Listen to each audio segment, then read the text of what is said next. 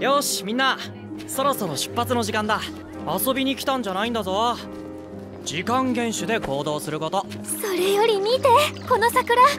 綺麗ね。いや春って感じだよね。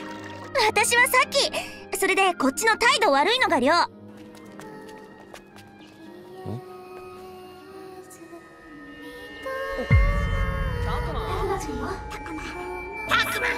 しっかりして。何がリーダーとしてだ。なもただ臆病風吹かせてるだけじゃねえか。うるせえ。いった殴ることないじゃないか。あなたが仲間を助けたいって思ったのは本心じゃ